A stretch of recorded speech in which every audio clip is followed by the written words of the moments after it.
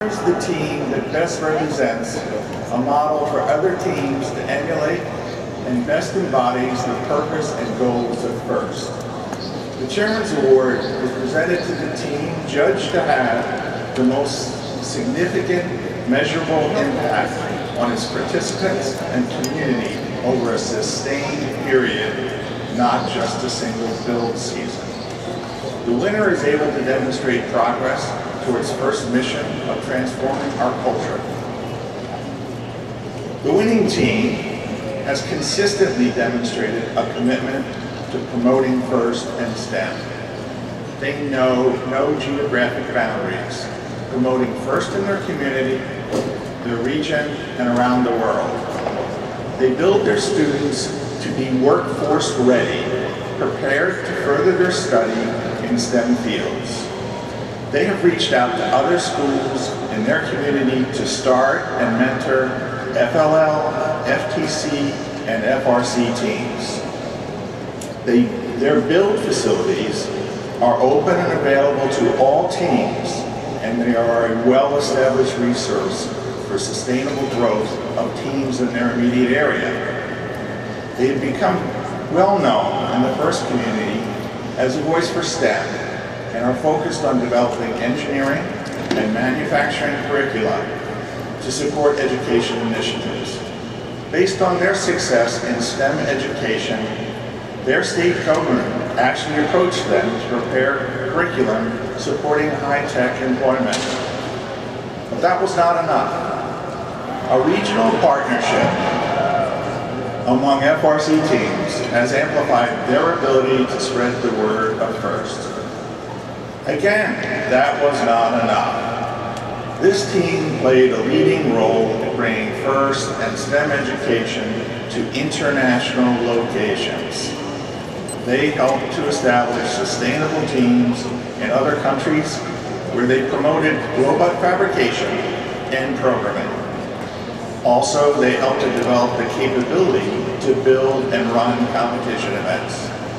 This team is on a journey, and we know it will lead them to amazing places. You can bet on this. It will never be enough. Please congratulate Team 987.